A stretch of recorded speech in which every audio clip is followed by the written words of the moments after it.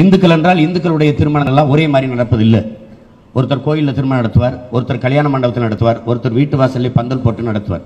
ஒருத்தருக்கு ஐயர் வருவார் ஒருத்தருக்கு உகதுவார் வருவார். ஒருத்தர் வீட்டில் இருக்க பெரிய மனிதர்கள் தாலி எடுத்து கொடுத்து கட்டுவார்கள். ஒவ்வொருத்தருக்கும் ஒரு முறை எங்க ஊர் சிவகங்கள் ஒரு மாதிரி நடக்கும் காரைக்குடியில் ஒரு மாதிரி நடக்கும் ராமநாதத்தில் ஒரு மாதிரி நடக்கும் திருநெல்வேலி ஒரு மாதிரி திருமணம் பண்ணுவான் கோயம்புத்தூர் ஒரு மாதிரி திருமணம் பண்ணுவான். ஒவ்வொருவருக்கும் ஒரு பழக்க வழக்கம்.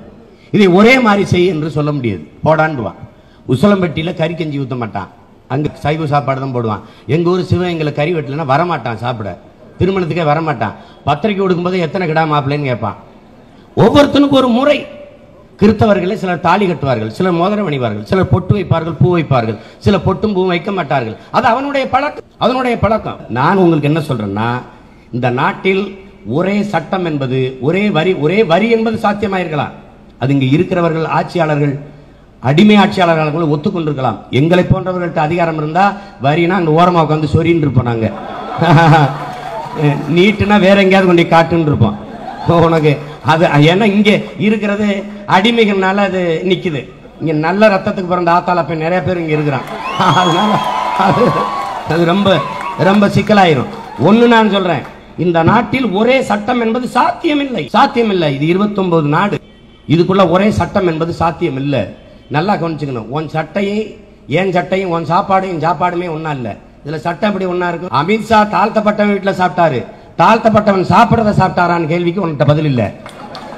நான் நான் மாட்டுக்கறி திம்பேன். நீ திம்பியா? அப்புறம் நீ எதுக்கு ஒரே சட்டை அப்படி கொண்டு வருவ? மோடி மாதிரி நான் சட்டை போட்டா சகிக்குமா? என்னை மாதிரி நீ வேட்டி சட்டை போட்டால் வேணா ஏற்பானா? இது வேடிக்கை.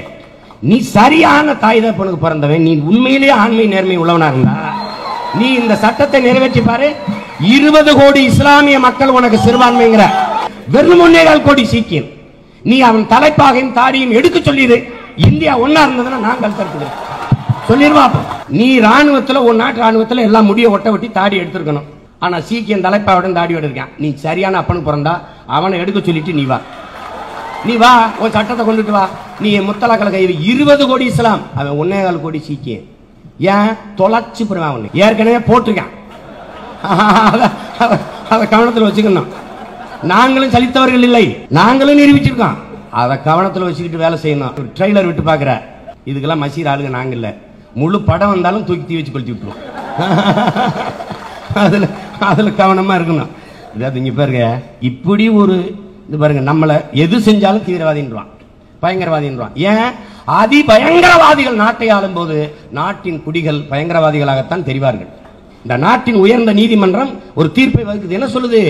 அப்சல் குரு எந்த தீவிரவாத அமைப்பினோடு தொடர்பு வைத்தார் என்பதற்கும் ஆதாரங்கள் இல்லை. எந்த முகாந்திரமும் இல்லை. எந்த தீவிரவாத செயலில் ஈடுபட்டார் என்பதற்கும் எந்த முகாந்திரமும் இல்லை.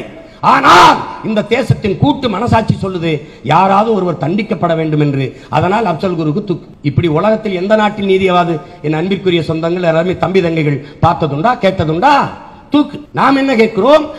பாராளுமன்றத்தை இடிக்க வந்தார் என்பதற்காக அப்சல் குருக்கு தூக்கு பாபர் மசீதியை இடித்தவனுக்கு என்ன தண்டனை இந்த தேசத்தில் கொடுக்கப்பட்டிருக்குது என்றால் நீ சைராபானு தொடுத்த வழக்குக்கு இவ்வளவு வேகமாக நீங்கள் தீவிரம் காட்டி சட்ட திருத்தம் கொண்டு வர முனைபவர்கள் பாபர் மசீது வழக்கிற்கு என்ன தீர்ப்பு தந்திருக்கிறீர்கள்? எத்தனை ஆண்டுகளை வழக்கிறது கால் நூற்றாண்டை கடந்தும் இன்னும் நடந்து கொண்டிருக்கிறது. அதுக்கு என்ன தீர்ப்பு?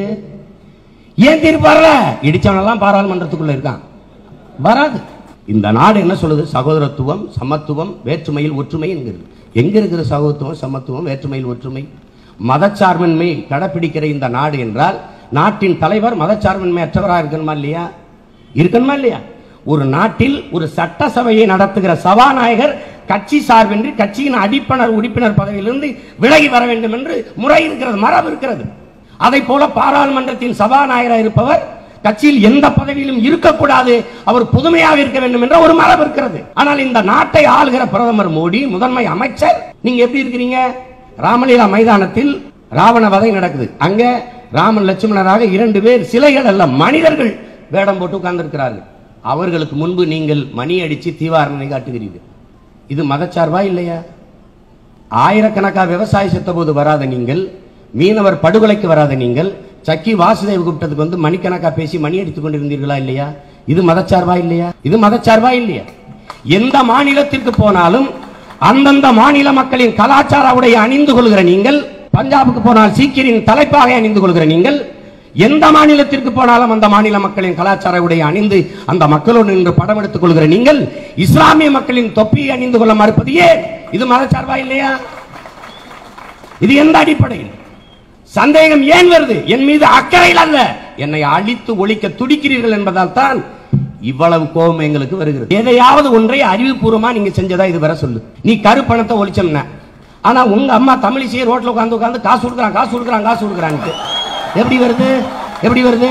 நீ கருப்பு பணத்தை ஒழித்து விட்டீர்கள் என்றால் அருமை பெருமக்களே இங்க நூறு நூத்தி இருபது கோடியை ஓட்டு காசு கொடுக்குறான் அந்த பணம் எங்கிருந்து வந்தது? எப்படி வந்தது? கேஷ்லெஸ் எக்கனாமில இவன்ட்ட மட்டும் கேஷ் எப்படி வந்துச்சு? அப்போ உங்க திட்டம் தோல்வியுற்று போனது. ஜிஎஸ்டி ஒரே வரி கொண்டாந்தீங்க. என்ன கொண்டாந்தீங்க? ஒரே நாடு ஒரே வரி ஒரே சந்தை என்றீர்கள் மிகப்பெரிய பின்னடைவை கொண்டு வரும். இந்த நாட்டின் வர்த்தகத்தை பாதிக்கும் என்று சொல்லும்போது நீங்க எதிர்த்தீர்கள் கேட்கல. ஆனால் நீங்களே இந்த நாட்டின் நிதியமைச்சரை உட்கார்ந்து இருநூத்தி முப்பத்தி எட்டு பொருளுக்கு வரியை நீங்க குறைச்சிங்க. ஏன்? குஜராத் தேர்தலை எதிர்கொள்வதற்கு அச்சம். நீங்கள் யார் என்பது எங்களுக்கு தெரியலைன்னா பிரச்சனை இல்லை. மாட்டுக்கு தடை போட்டான். என்ன மாட்டுக்கறிக்கான தடையா? மாட்டுக்கறிக்கு தடை. என்ன உங்களுடைய உங்க சிந்தனை என்ன? கறிக்கு மாட்டை விற்க கூடாது இந்த மாடு கறிக்கு விற்கிறது எப்படி கண்டுபிடிப்பா முதல் எழுதி கொண்டு வருவோமா? எப்படி கண்டுபிடிப்பா? நான் உழவுக்கு வாங்க வந்தேன் வண்டி மாட்டுக்கு வாங்க வந்தேன். எப்படி விற்ப என்ன ரூம் போட்டு யோசிப்பீங்களாடா இப்படி? எப்படி இது யோசிப்ப? ஒன்றை நுட்பமாக கவனிச்சுக்கிறங்க பாரதிய ஜனதா எதற்கு? தமிழகத்திற்கு தமிழ்நாட்டிற்கு எதற்கு? ஊழல் லஞ்சத்தை ஒழிப்ப. நீ ஆண்ட மாநிலத்தில் ஒழிச்சிட்டியா? பதில் இல்ல. இந்தியாவை வளர்ப்பேன். மொத்த நாட்டையும் பிச்சைக்கார நாடாக்கிட்டு இங்க என்ன பண்ண போற?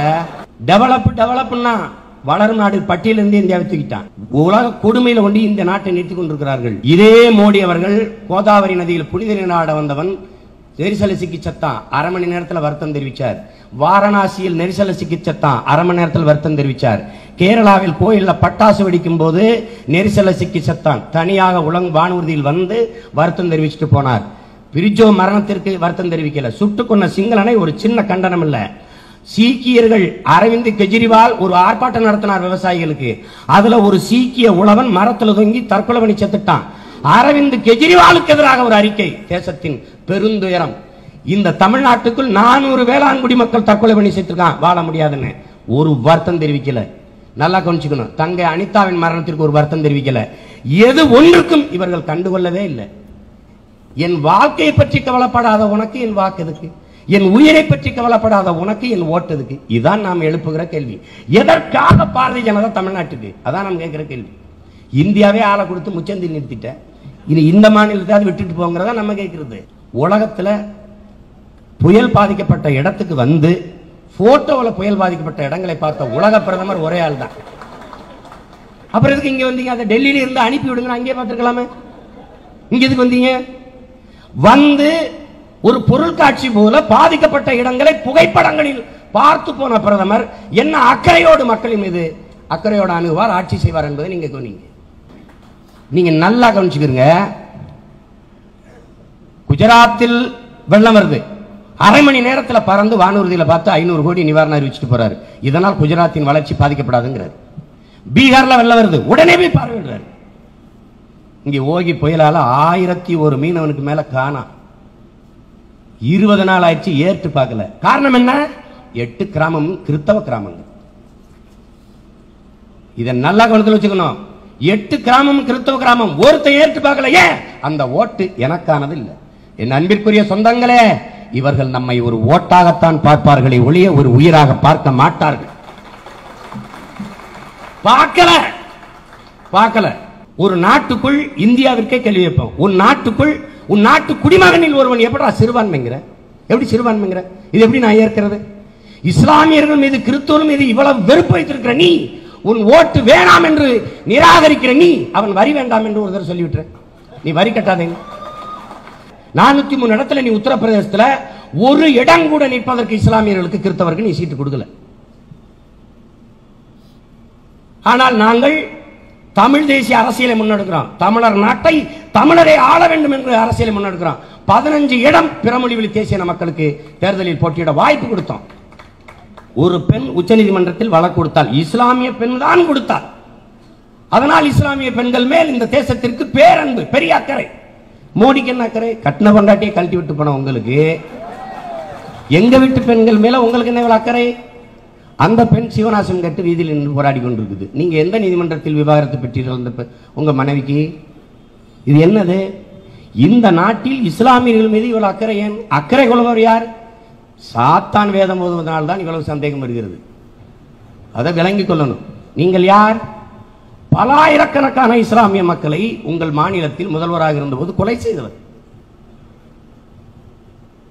கர்ப்பிணி பெண்களின் வயிற்றை கீறி பச்சிலம் குழந்தை அந்த பிஞ்சுவை தூக்கி எரிகிற நெருப்பில் வீசிய மகள் நீங்கள். அது எந்த அக்கறையில்? இப்போது ஒரு இஸ்லாமிய பெண்ணுக்கு இழைக்கப்பட்ட அநீதிக்கு காட்டுகிற அக்கறையா அது? அந்த மாதிரி அக்கறையா? எல்லோரையும் அகதிகள் முகாமில் அடைத்து வைத்திருந்தது சொந்த மாநிலத்தில். இப்படி ஒரு கொடுமையான முகாமில் அடைத்து வைத்திருக்கிறீர்களே ஒரு வசதியமற்ற நிலையை வாழ வைத்திருக்கிறீர்களே என்று கேட்டதற்கு நீங்க சொன்ன பதில் என்ன? அங்கே மனித உற்பத்தி நன்றாகத்தானே நடந்து கொண்டிருக்கிறது என்று. இது எந்த அக்கறையில்? இத்தனாயிரக்கணக்கான இஸ்லாமியர்களை கொன்றீர்களே அப்போது உங்கள் மனது மனநிலை எப்படி இருந்தது என்ற கேள்விக்கு வேகமாக காரை ஓட்டிக்கொண்டு செல்லும்போது ஒரு நாய் குறுக்கே விழுந்த அடிதா அடிபட்டு செத்தால் என்ன மனநிலை இருக்குமோ அந்த மனநிலை தான் என்றீர்கள். நான் கேட்டேன் பாரதிய ஜனதா இங்கே கால் உண்டும். அது சாவுக்கு பந்தக்கால் உண்டுமே ஒழிய தாமரை தாமரை மலரும்மா எங்கள் உடல்களில் படர்தாமரை மலர்கிறே ஒழிய எந்த குளத்திலையும் குடிக்க குளிக்க தண்ணீராகவோ தாமரை எங்க மலர்றது? நாம மதத்தையும் தாண்டி மனிதத்தை காக்க நிற்கிறோம். அவர்கள் மனிதர்களை கொண்டுட்டு மதத்தை காக்க நிற்கிறார்கள். இது நுட்பமாக விளங்கிக் கொள்ளணும். அதுதான் அது மிக முதன்மையானது. அதான் இங்க முதன்மையானது. நீ நாங்க பேசுறது மொழி இனம் ஓர்மை என்று பேசுகிற போது மதவாதம் போலவே இதுவும் பாசிசம் இல்ல உலகத்தில் முதலில் தோன்றியது உழைப்பில் இருந்து மொழி. மொழி தோன்றிய உடனே இனம் வரையறுக்கப்படுகிறது. சாதி மதமும் மிக பின்னாடி வந்தது. இதைத்தான் புரட்சி பாவலர் கடவுள் வெறி சமய வெறி கண்ணல் நிகர் தமிழுக்கு நோய் நோய் நோயே! இடை வந்த சாதி எனும் இடர் ஒளிந்தால் ஆள்வது நம் தாய் தாய் தாயே என்று முழக்கமிடுகிறார். இதை அன்பிற்குரியவர்கள் புரிந்து கொள்ள வேண்டும். தந்தை பெரியார் அவர்கள்ட்ட வந்து நீங்க தான் கடவுளே இல்லைங்கிறீங்களே அவர் ஏன் கோயிலுக்கு போகணும்னு நீங்க போராட்டம் நடத்திக்கிட்டு இருக்கீங்கிறாங்க கடவுள் இல்லைங்கிறது என் உணர்வு. ஆனால் உள்ளே போய் வழிபடணுங்கிறது அவன் உரிமை. அந்த உரிமையை பெற்றுக் கொடுக்க வேண்டியது ஒவ்வொருத்தனுடைய கடமை. அதுக்காக நான் போராடுங்கிறது. நான் மாட்டுக்கறி சாப்பிடறனாலேங்கிறது அல்ல பிரச்சனை. அது என் சகோதரனுக்கு உணவாக இருக்கிறது. அந்த உரிமையை பெற்றுக் கொடுக்க வேண்டியது என் கடமையாக இருக்கிறது. திருமணம் எப்படி குரான்ல வகுக்கப்படுது? இஸ்லாமிய மக்கள் நீண்ட காலமாக அப்படி பின்பற்றி வருகிறார்கள்.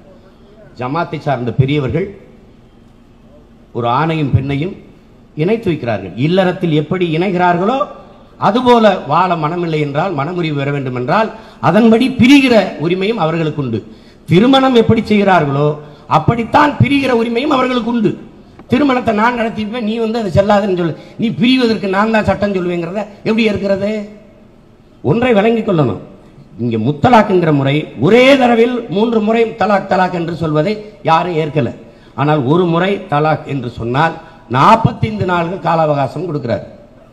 அந்த 45 நாளும் அந்த பெண் மணமகன் வீட்டிலேயே தங்கி வாழ வேண்டும் என்கிற முறையும் இருக்கிறது.